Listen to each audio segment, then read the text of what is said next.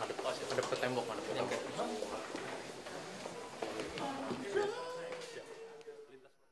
Subdit Jatanras Polda Metro Jaya menangkap komplotan sadis pelaku perampokan spesialis sembako yang menewaskan Mamat Surahmat alias Haji Mamat, juragan beras di Ciracas, Jakarta Timur.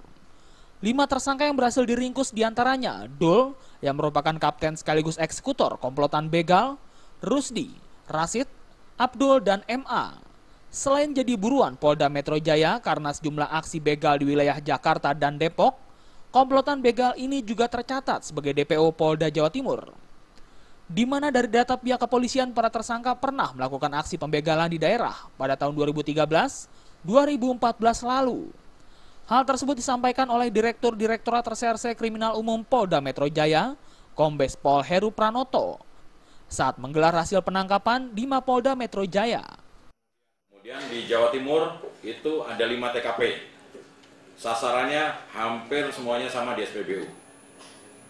Kemudian artinya semuanya dia kurang lebih 18 TKP sudah di, dilakukan oleh para pelaku yang kelompok ini. Lima orang sudah kita tangkap, masih ada empat orang lagi sedang kita cari ya. Dan kelompoknya kita sudah dapat kantongi nama-namanya. Mudah-mudahan dalam waktu cepat nanti kemungkinan kita akan kerjasama dengan pihak kepolisian uh, Polda Jawa, Jawa Timur untuk sama-sama ungkap terhadap pelaku DPO ini. Subdit Jatanras PMJ juga berhasil meringkus komplotan curas sembako lainnya. RAH alias Kinor, RIZ alias Eka, RAJ alias Andi, dan IW. Pihak kepolisian juga mengamankan pistol jenis Colt, pabrikan kaliber 22, berikut 5 butir peluru, tiga unit motor yang digunakan sebagai alat kejahatan, beberapa unit handphone, dan beberapa bilah pisau.